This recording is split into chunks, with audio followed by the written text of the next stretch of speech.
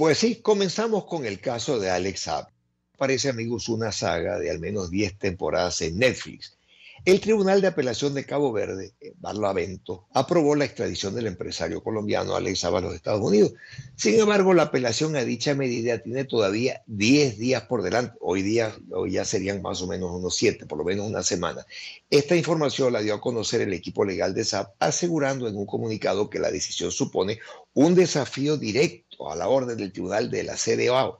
Esa es la Comunidad Económica de Estados de África Occidental del pasado 2 de diciembre, que ordenó a Cabo Verde poner bajo arresto domiciliario a Saab. Una fuente del equipo de defensa de Saab informó entonces que el tribunal con sede en Abuya y del que es miembro Cabo Verde, falló a favor de que se termine con el actual régimen de encarcelamiento del empresario colombiano. En opinión del equipo legal del detenido, encabezado por el ex juez Baltasar Garzón, que está ganando un billete con esto. La decisión del Tribunal de Apelación no es de extrañar y no hace sino continuar la deplorable serie de decisiones en las que los tribunales caboverdianos se han negado, dicen ellos, a abordar sistemáticamente los argumentos presentados por la defensa de Saab. Ellos apelarán esta decisión ante la Corte Suprema de Justicia e de la manera más enérgica posible, pues supone un grave desprecio por parte del Tribunal de Apelación de Cabo Verde al honorable Tribunal Regional de la CDAO.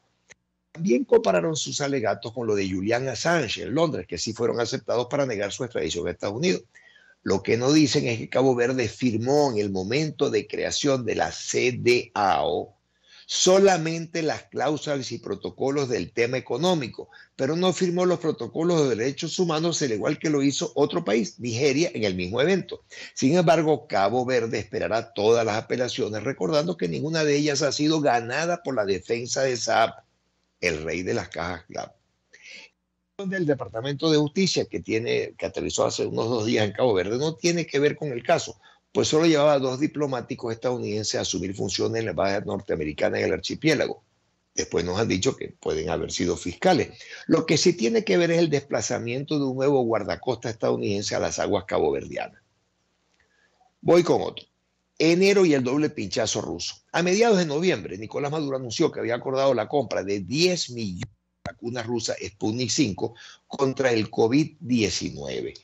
La adquisición fue el resultado de un viajecito hecho al País Rojo por una delegación de funcionarios gubernamentales encabezada por la incondicional vicepresidenta Rodríguez, sobre quienes eran los integrantes de la delegación, cuál experticia tenían en materia epidemiológica, en salud pública o negociación y finanzas, nunca supimos nada.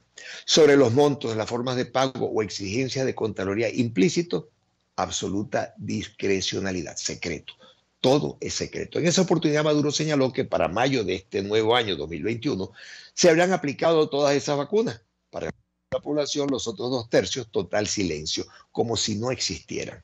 Otro enfoque sobre el mismo tema que nos explican los expertos es por qué si nuestro acontecer económico, cultural, científico, geopolítico corresponde al mundo occidental, no nos involucramos en tan delicado asunto para el venezolano común y corriente con las propuestas de vacunas de Pfizer BioNTech, AstraZeneca, Sanofi o Moderna, que han resultado ser las más seleccionadas por la gran mayoría de países con políticas sanitarias a la vista y examen y escrutinio de la Organización Mundial de la Salud. El líder ruso Vladimir Putin, de 68 años de edad, prometió recientemente que se pondría la vacuna que produce su país, mas no conocemos todavía si la oferta se haya hecho realidad hasta hoy, mientras continúa experimentando con diferentes grupos poblacionales en el país. En Rusia, aquí en Venezuela, el aparato de propaganda del régimen montó un segundo escenario en el cual el hijo de Nicolás Maduro, Nicolásito, se supone fue vacunado con la Sputnik 5, siendo testigo del embajador ruso en Venezuela, Sergei Melik Bagdasarov. La principal característica de la Sputnik 5 rusa es que debe ser inyectada dos veces en 21 días, a diferencia de las marcas Pfizer, BioNTech o AstraZeneca, todas de una sola dosis. Solo Argentina, México y Venezuela, así como los estados de Bahía y Paraná del Brasil, han manifestado en el continente americano interés o compromiso con los rusos y la vacuna Sputnik 5. La OMS mantiene un comité consultivo mundial sobre seguridad de las vacunas a los fines de la evaluación permanente sobre las propuestas que le son sometidas a su consideración.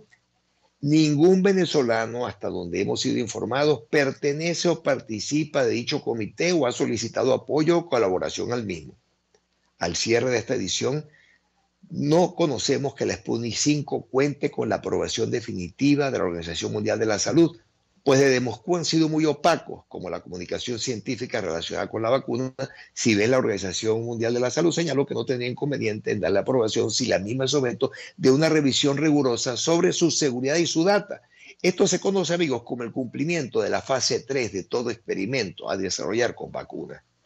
Otro aspecto realmente preocupante es que según fuentes gubernamentales, cerca de 2.000 voluntarios venezolanos vienen formando parte de los ensayos y experimentaciones previas de la Sputnik 5 Tal es el caso que cuando llegó el lote de vacunas rusas a Maiquetía, la vicepresidenta Rodríguez insistió en la verborrea revolucionaria señalando que ese era un momento histórico para Venezuela y que no podía ocultarse la emoción que nos embargaba de que sea Venezuela el primer país del hemisferio occidental en participar en la fase 3, óigame, fase 3 prueba todavía de los ensayos clínicos de esta vacuna. Respecto a quiénes han sido estos compatriotas, dónde están, cuál es su situación socioeconómica, qué beneficios reciben, cuáles han sido los efectos o reacciones.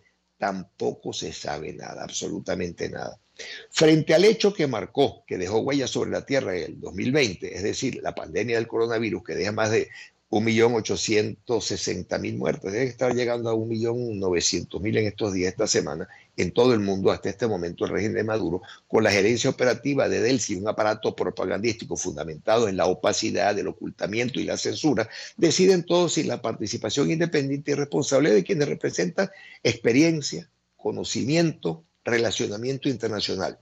Llegó enero de 2021, fecha en que, por lo dicho por la vicepresidenta, comenzaría el proceso de vacunación en Venezuela y nos viene como referencia válida lo que en su oportunidad señalara el presidente de la Federación Médica de Venezuela, Douglas León Natera, cuando afirmó, le digo a Venezuela y al mundo, no le hagan caso a esa vacuna que están hablando de Rusia, porque el mismo Vladimir Putin, presidente de Rusia, reconoció que apenas están en la fase 1.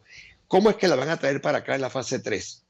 Respuestas, estamos a su orden para darle cabida en nuestros programas. Vamos con otra. Las pruebas del Instituto Nacional de Higiene son dos veces más caras que las clínicas privadas. Sí, el régimen venezolano no había permitido en todo este año de pandemia que los laboratorios y clínicas privadas pudieran hacer las pruebas de llamada reacción en cadena de la polimerasa, abreviada como PCR, para ellos mantener el monopolio de la verdad ajustado a una falsa cifra de contagiados por lo pequeño de la muestra ofrecida en las instancias de salud del gobierno con bombos y platillos, acaban de anunciar que el Instituto Nacional de Higiene Rafael Rangel las hará para el público al costo de 86 dólares.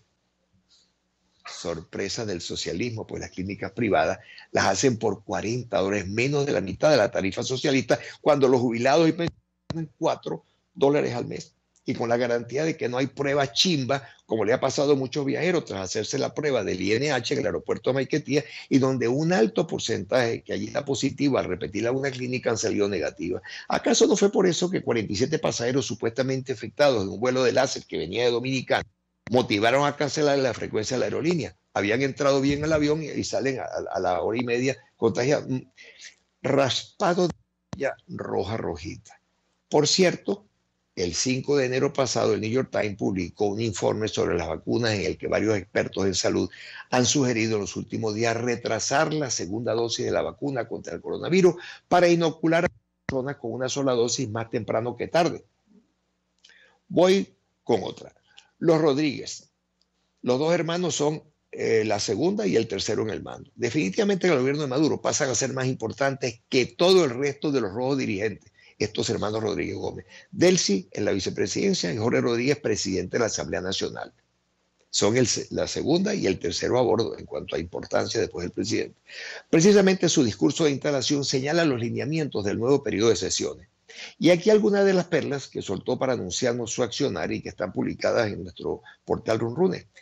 Dice, dijo Rodríguez, si queremos mirar hacia el futuro tenemos que ver con preocupación lo que ha ocurrido en este recinto los pasados cinco años de esta gestión. No podemos olvidar, reconciliación sí, pero sin amnesia. Ahora, quienes lo dicen nos han dicho que vinieron a vengarse de lo que pasó con ellos entre 1958 y 1998, los 40 años de la democracia. Otra, Dijo Orre, el epicentro es de donde se planearon esos planes desestabilizadores, intentos de magnicidio fue en este recinto. Por eso estamos obligados a hacer un exorcismo. Hay que rociar con agua bendita cada rincón de esta pared, pero son ellos mismos los que no creen en Dios y han atacado permanentemente a la Iglesia Católica en Venezuela. Si no vean o leamos a Porras o a Moronta. No podemos usar como excusa el bloqueo internacional para no hacer las tareas de los funcionarios públicos, porque seríamos cómplices. Pero amigos, ellos son los mismos que le achacaron, le echaron la culpa al bloqueo del fracaso en todos los órdenes en el gobierno. Otra, también de esta Asamblea Nacional saldrá una defensa del territorio esequivo, porque el sol nace por el esequivo. El único acuerdo que reconocemos es el de Ginebra, quienes dirigían la saliente asamblea si vieron a Estados Unidos para robarnos el territorio Esequibo. Pero óigame amigos, lo hemos escrito desde hace años. Los que dejaron perder el territorio Esequibo por orden de Fidel a Chávez en agradecimiento a Guyana fueron ellos. Recordemos, lo hemos escrito en los últimos años.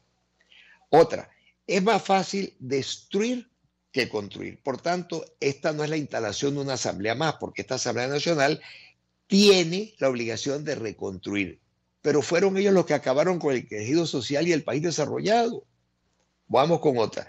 Reconstruir sobre lo que dañaron es más difícil, pero lo, haremos. Ahora nos corresponde ponernos a la tarea de sanadores al pueblo venezolano. Esto, amigos, es cinismo al máximo, definitivamente. Otra, se aliaron con paramilitares para designar al presidente Maduro, le pusieron precios a diputados y diputadas, robaron los activos internacionales del pueblo.